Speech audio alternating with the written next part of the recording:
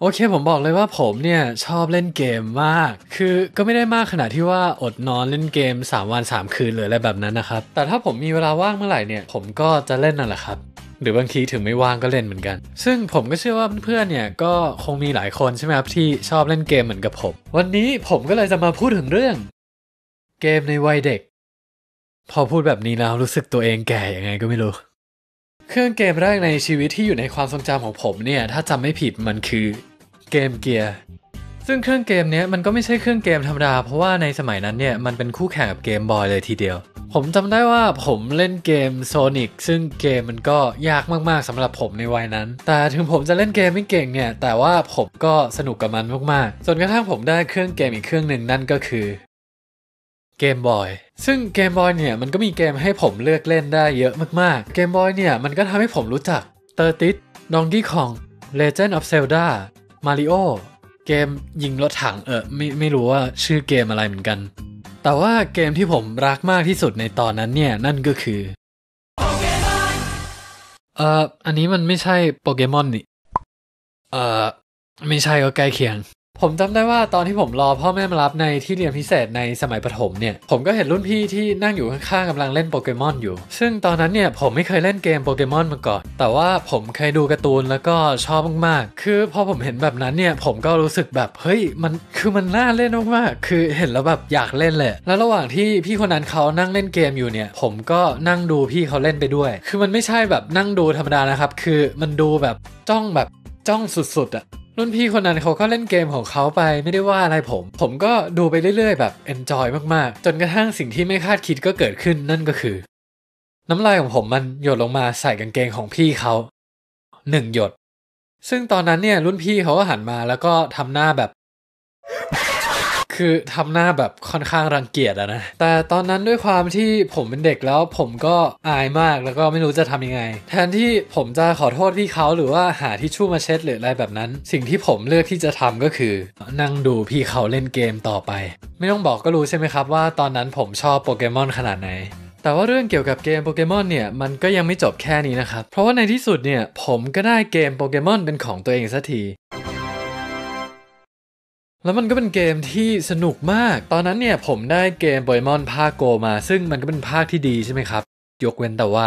มันเป็นภาษาญี่ปุ่น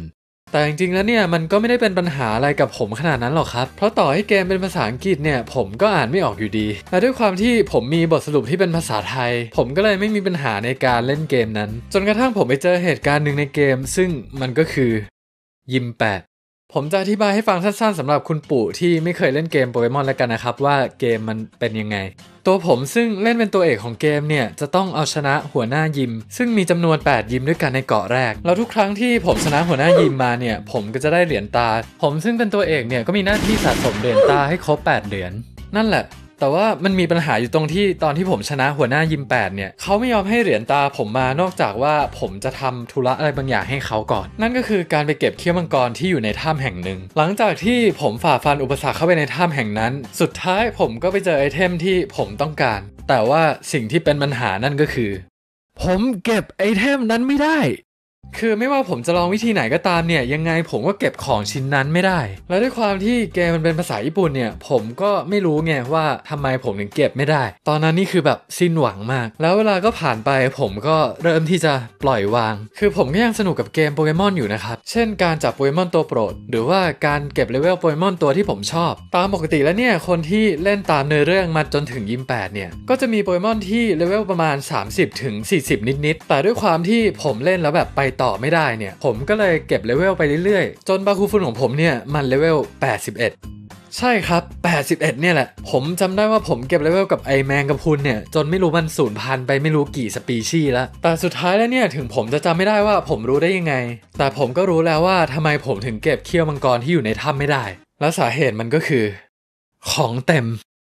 คือตอนนั้นเนี่ยรู้สึก IQ ของตัวเองนี่เหลือสักแบบ 5.4อะ หลังจากที่ผมรู้สาเหตุแล้วเนี่ย ผมก็เลยเอาไอเทมที่อยู่ในกระเป๋าไปฝาก แล้วก็ไปเก็บเขี้ยวมังกรเพื่อไปแลกกับเหรียญตา หลังจากนั้นเนี่ยผมก็ดำเนินเนื้อเรื่องต่อ ปราบสี่จตุรเทพ ข้ามไปอีกเกาะหนึ่ง สู้กับหัวหน้ายิมอีก 8 คน ปราบเลสซึ่งเป็นบอสใหญ่ที่สุดของเกม แล้วก็จบเกมไปแบบ easy คือด้วยความที่โปเกมอนตัวหลักของผมเนี่ยมันเลเวลเยอะเกินจนไม่มีใครสู้ได้เลย แต่ก็อย่างที่ผมว่าแหละมันก็เป็นเกมที่สนุกมากและผมก็ชอบมากๆ เอาไปเลย สิบเต็ม10ถึงผมจะบอกว่าคลิปนี้เนี่ยมันเกี่ยวกับเกมในวัยเด็กแต่ว่า